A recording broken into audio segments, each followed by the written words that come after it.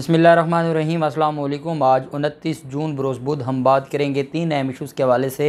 पाकिस्तान मुस्लिम league नून के अरस्तु एहसन इकबाल आज इस्लामाबाद हाई कोर्ट में कमर अदालत में रो पड़े हैं। उनके ख़िलाफ़ एक केस था और इन्होंने बरीत की दरख्वास्त उनकी खारिज हुई थी एहतसाब अदालत से और इन्होंने चैलेंज किया था उस ऑर्डर को, एहतसाब अदालत के ऑर्डर को इस्लामाबाद हाई कोर्ट में। अब साथ प्ली ये भी ली गई थी कि अब अमेंडमेंट्स आ गई हैं और मेरी बरीत तो वैसे बनती है क्योंकि हमने अपने आप को बरी करवाने के लिए तो ये कानून साजी की है। वहाँ पर नैब की तरफ़ से कि जब सरकार बनाम एहसन इकबाल केस कॉल होता है तो एहसन इकबाल के दिल पर क्या गुज़रती है?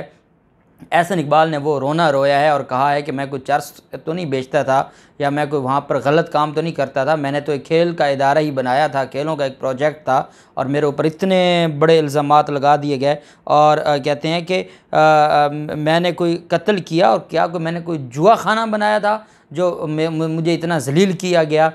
इस्लामाबाद हाई कोर्ट में फिर ऑनरेबल जज साहब ने कहा कि आप हौसले से रहें इतनी क़्यामत कोई नहीं आ गई आप ठंडे रहें और केस को आर्गू करने दें अपने वकील को और आप ना बोलें। अहम तफसील जो मैं आपके साथ शेयर करूँगा। साथ हम बात करेंगे एक एस एच ओ लाहौर में एक पुलिस एस एच ओ जो एक बहुत बड़ा मनशियात फ़रोशों का गढ़ समझा जाता है उसके थाने के आसपास। जहाँ भी जिस थाने में वो तैनात होता है, वहाँ पर मनशियात फ़रोशों का अड्डा लग जाता है। आज बिलाखिर वो गिरफ़्तार हुआ है। उसकी तफसील भी मैं आपके साथ शेयर करूँगा। अहम जो आज हम बात करेंगे वो है सुप्रीम कोर्ट के ऑर्डर्स की सरीहन खिलाफ वर्जी की जा रही है। शहबाज शरीफ हुकूमत की तरफ़ से और शहबाज शरीफ हुकूमत इसमें बुरा फंसने जा रही है, क्योंकि पाकिस्तान तहरीक इंसाफ तोहन अदालत की दरख्वास्त लेकर जाना चाह रही है। इस इम्पोर्टेड हुकूमत के ख़िलाफ़ सुप्रीम कोर्ट में वो भी तफसील मैं आपके साथ शेयर करूँगा। पहले हम बात कर लेते हैं, सबक डी आई जी के ख़िलाफ़ एक मुकदमा था और एहतसाब अदालत लाहौर में आज उसके ऊपर समात हुई थी। सबक ये डी आई जी हैं D I G police Syed Junaid Arshad, इनके ख़िलाफ़ आमदन से ज़्यादा असाजात केस था, उसकी समात हुई। एहतसाब अदालत नंबर एक जज असद अली ने केस पर समात की। सैयद जुनेद अरशद की जानब से मियाँ इजहार अहमद एडवोकेट पेश हुए। अदालत में जो गवाहान है उन पर जिरा हुई और अदालत ने तफ्तीशी अफसर वहीद रहमान गुजर गुजर को भी जिरा के लिए तलब किया है। जुनेद अरशद ने अदालत में मौक़ अपनाया कि मुझ पर यह सबक डी आई जी है कहते हैं, मुझ पर झूठ पर मबनी मुकदमात बनाए गए। मेरी सबका बीवी आयशा सुबहानी के वालद ने साजबाज करके मुकदमात बनवाए। नए नैब के कानून के तहत मेरे ख़िलाफ़ केस बनता ही नहीं है। मुझ पर बैंक के ट्रांजैक्शंस के बुनियाद पर जाली रेफरेंस बनाया गया था। नया नैब कानून बैंक ट्रांजैक्शंस को असासा तस्लीम नहीं करता। अब आप अंदाज़ा लगाएँ कि कितने बड़े बड़े जिन्होंने अरबों रुपए की जाली ट्रांजैक्शंस के केसेस में मुलवस हैं, जिन्होंने करोड़ों रुपए हड़प हड़प किए हैं, जो इतने बड़े बड़े सरकारी अहदों पर बैठे थे और उनके अकाउंट्स में करोड़ों रुपए आ जा रहे थे और पता नहीं था कि वो कहाँ से आ जा रहे हैं। कैसे वो नैब कानून और नैब तरमीम का अब अदालतों में हवाला देते हैं और कितनी दीदा दलेरी के साथ और बेशर्मी और हट धर्मी के साथ देते हैं कि इंसान सोचता है कि और फिर पता चल जाता है कि ये जो नैब तरामीम की गई थी, वो इन्हीं लोगों के लिए की गई थी, जो आज अदालतों में बड़े फ़ख्र से कहते हैं कि जनाब अब तरमीम आ गई है। अब ये जो ट्रांजैक्शंस हैं, ये केस ये बैंक ट्रांजैक्शंस के केस नैब में आते ही नहीं है जनाब। मैं तो बिल्कुल बेगुनाह हूँ। अब मैं दोबारा क्या हो सकता है कि मैं डीआईजी दोबारा बन जाऊँगा और मैं शरीफ ख़ानदान की खिदमत करूँगा। बहरहाल, अदालत ने केस की समात उनतीस जून तक मुलतवी की है और अदालत ने मज़ीद जो गवाहान हैं, उनको तलब किया है और अदालत ने कहा है कि मज़ीद गवाहान अदालत में आएँगे और उन पर जिरा की जाएगी। दूसरी तरफ़, लाहौर में मनशियात का झूठा मुकदमा दर्ज करने वाला और मनशियात फ़रोशों का जो सरगना था S H O Safdar Sajjad, उसको गिरफ़्तार किया गया है। ये एस एच ओ हरबंसपुरा थे और इन पर कब्ज़ा ग्रुपों की सरपरस्ती का भी इल्ज़ाम था। काफ़ी शिकायत थी, काफ़ी अरसा से इंक्वायरी पेंडिंग थी, जिसमें इनको आज गिरफ़्तार किया गया है। एस एस पी इन्वेस्टिगेशन की इंक्वायरी के बाद एस एच ओ इल्ज़ाम साबित हुए, जिसके बाद उसे गिरफ़्तार करके मुकदमा दर्ज किया गया है। डीआईजी ऑपरेशन का कहना है कि किसी भी अफसर को हक नहीं कि वो शहरी को झूठे मुकदमात में मुलवस करे और इस वजह से हम इन सारे जो पॉलिस में काली भेड़ें हैं, इनके ख़िलाफ़ मुकदमा दर्ज करेंगे। अब अगर पॉलिस में काली भेड़ों का ज़िक्र करें तो वो तो मामला ऊपर से शुरू होगा, तब भी ये काली भेड़ें ख़त्म होंगी। एक ऐसा जो के जाने से ये मामला हल नहीं होगा, क्योंकि पिछले तीस साल में सबसे ज़्यादा करप्ट, सबसे ज़्यादा मिस यूज़ भी इसी पॉलिस का हमारे इन सबक मौजूदा और सबक हुक्मरानों ने किया, शरीफ ख़ानदान और जरदारी ख़ानदान ने अपने अपने मफादात के लिए और बड़ा भी इसी जो डिपार्टमेंट है पुलिस का इसका बेड़ा गर्क किया इन लोगों ने अपने अपने मफादात के लिए। बहरहाल अब उनके ख़िलाफ़ जो मुकदमा है वो दर्ज किया गया है और अब देखते हैं कि ये जो मामला है ये आगे कहाँ जाता है।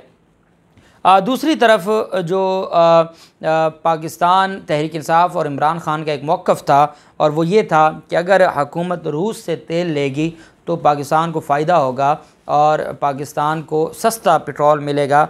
और भारत ने जब रूस के साथ महदा कर लिया है तो हमें क्या प्रॉब्लम है? हम क्यों अमेरिका की ग़ुलामी में बैठे हैं? अमेरिका के पास गए, आप जानते हैं कि मुफ्ता इसमाइल और उनके साथ पूरी वजारत ख़जाना गई है अमरीकी सफ़ीर से मिलने के लिए। और अमरीकी सफ़ीर वो सिर्फ़ गिराना जानते हैं, वो उठाना नहीं जानते। और उन्होंने ठेंगा दिखाया और कहा कि आप निकल जाएँ यहाँ से। अब जब इन्होंने देखा कि रूस के साथ, चाइना के साथ मोदी उनके साथ जाकर खड़ा हुआ है और हमारी जगह नहीं है वहाँ पर, हम आज तक पिछले 20 साल कोशिश करते रहे कि अमेरिका से निकलें। इमरान खान ने हमें अमेरिका की ग़ुलामी से निकाल के आज़ाद और ख़ुद मुख्तार एक खारजा पॉलिसी दी थी और हम फिर दोबारा अमेरिका के पाँव में ऐसे पड़े हैं कि जो दूसरा बुलाक था जहाँ पर हमें इज़्ज़त दी जाती थी, आज उन्होंने भी हमें धुतकार दिया है। अब शहबाज शरीफ हुकूमत ने रूस से तेल की ख़रीदारी के लिए मुशावरत शुरू कर दी। इस हवाले से पेट्रोलियम डिवीज़न ने मुशावरत के लिए चार बड़ी रिफ़ाइनरी के सरबराहान को ख़त लिख दिया है। Pak Arab national refinery PRL और बाइको को लिखे गए ख़त में पेट्रोलियम डिवीजन्स ने रिफाइनरी से पूछा कि रूसी खाम तेल से पेट्रोलियम मसनूआत के हसूल की शरह का पूछा और ये भी पूछा कि आयल रिफाइनरीज़ किस ग्रेड का ख़ाम तैयार, ख़ाम तेल कितनी मकदार में ले सकती हैं? ख़त में मशरक वसलता से ख़रीदे गए ख़ाम तेल के तकाबुल में रूसी ख़ाम तेल की दरामदी लागत क्या होगी और रूस से ख़रीदे गए ख़ाम तेल की अदायगी का तरीक़ाकार के हवाले से भी पूछा गया है।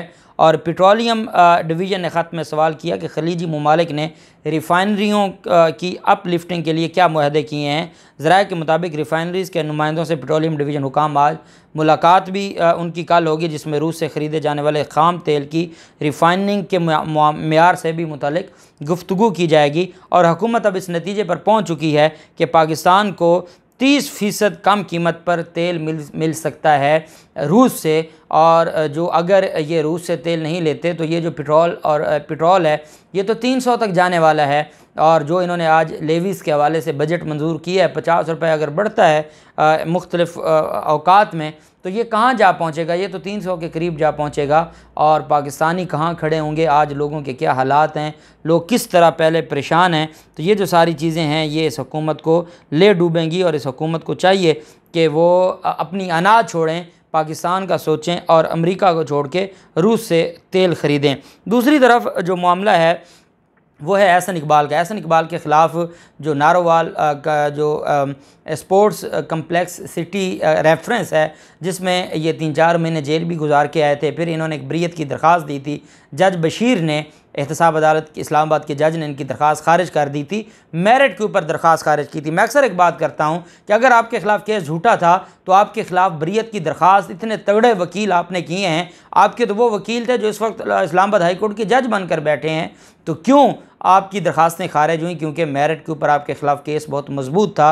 बहरहाल इनकी दरखास्तें खारिज हुई और ये इस्लामाबाद हाई कोर्ट में गए और वहाँ पर जो समात जस्टिस आमिर फ़ारूक साहब ने समात की, जस्टिस आमिर फ़ारूक साहब ने नैब से इस्तफसार किया कि नैब कवानी में तरमीम हो गई है, इसका केस पर क्या असर पड़ेगा?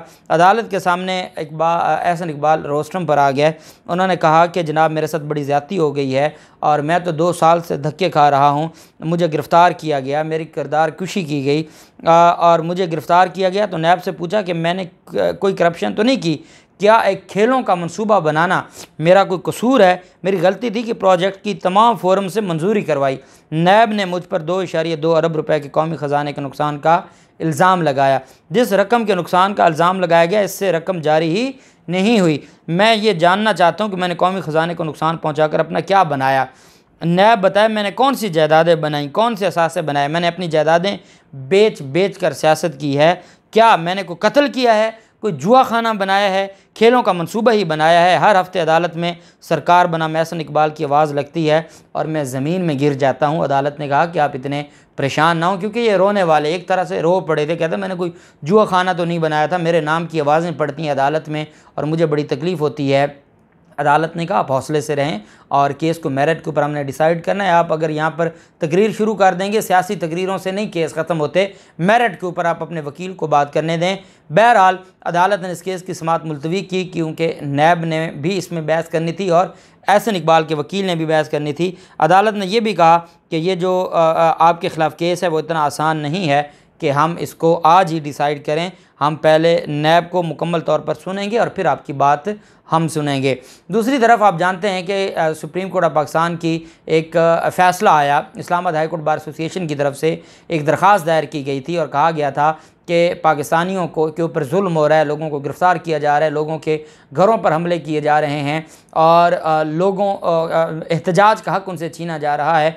ये Islamabad high court bar association ने दरख्वास्त दी थी, जिस पर फिर इस्लामाबाद, सुप्रीम कोर्ट ने Islamabad high court bar association की दरख्वास्त पर फिर मुख्तलिफ़ रिपोर्ट्स भी तलब की थी। फिर आप जानते हैं कि अशतर साफ़ जो कि अटानी जनरल साहब हैं, उन्होंने तोहन अदालत की दरख्वास्त भी इमरान खान के ख़िलाफ़ दी थी, जो खारिज हो गई थी, और उसके बाद फिर अदालत ने मुख्तलिफ़ इदारों से रिपोर्ट भी तलब की थी। उसमें एक चीज़ बड़ी वाज थी कि आर्टिकल जो सोलह सत्रह है, अदालत का काम है उसकी हिफाजत करना पुरमन एहतजाज और जलसा करना यह हर पाकिस्तानी का हक़ है और जब कोई पाकिस्तानी हुकूमत से इजाज़त माँगता है जलसा करने की तो ये हुकूमत की ज़िम्मेदारी है। हुकूमत को एहसान नहीं करती बल्कि ये हुकूमत की ज़िम्मेदारी है कि वो आ, उनको इजाज़त दे और वो इस मामले को देखे। बहरहाल सुप्रीम कोर्ट ऑफ़ पाकिस्तान ने यह फ़ैसला दिया था और उस फैसले के बरक्स इस्लामाबाद में जो दो जुलाई को पाकिस्तान तहरीक इंसाफ का जलसा होने जा रहा है पाकिस्तान तहरीक इंसाफ के उस जलसे के लिए इजाज़त नहीं दी जा रही इस्लामाबाद इंतज़ामिया की तरफ़ से। और वो जो मरकज़ी सेक्रटरी जनरल हैं पाकिस्तान तहरीक इंसाफ के, असद उमर, उनका कहना है कि इम्पोर्टेड हुकूमत इमरान खान की मकबूलीत में से खौफजदा है। दो जुलाई को इस्लामाबाद जलसे की मंजूरी देने के हवाले से हीले बहाने कर रही है। उन्होंने कहा कि इलेक्शन से ये भागते हैं, जलसों से भी डरते डरते हैं। कहते हैं कि जब सुप्रीम कोर्ट ऑफ़ पाकिस्तान का वाज फ़ैसला मौजूद है। हम आइन और कानून के तहत हम कोई डी चौक नहीं जा रहे, रेड जोन हम नहीं जा रहे। परेड ग्राउंड हम जलसा करना चाहते हैं। पहले भी हमने जलसा किया, वापस चले गए। अब हम कोई धरना देने नहीं जा रहे हैं हम जलसा करने जा रहे हैं। जब सुप्रीम कोर्ट ने यह कह दिया है कि जलसे की इजाज़त देना या पुरमन एहतजाज की इजाज़त देना, ये हर हाल में ज़िम्मेदारी है हकूमत की। तो हकूमत सुप्रीम कोर्ट की डायरेक्शंस पर, जो आर्टिकल 16 17 की इंटरप्रटेशन में सुप्रीम कोर्ट ऑफ़ पाकिस्तान ने आर्टिकल 15 16 17 को इंटरप्रेट करते हुए दी हैं, उसकी सरी खिलाफ वर्जी की जा रही है। उन्होंने कहा कि अगर हमें अगले 24 घंटों में ये इजाज़त नहीं देते तो हम सुप्रीम कोर्ट ऑफ़ पाकिस्तान में इनके खिलाफ तोहनी अदालत की दरख्वास्त लेकर जाएँगे, क्योंकि सुप्रीम कोर्ट के अहकाम की खिलाफ वर्जी की जा रही है। अब देखते हैं ये मामला कहाँ जाता है। जो भी तफसीत होंगी आपके साथ शेयर करते रहेंगे। अल्लाह पाक पाकिस्तान का हामी मुनासर हो। बहुत शुक्रिया। अल्लाह हाफिज़। पाकिस्तान जिंदाबाद।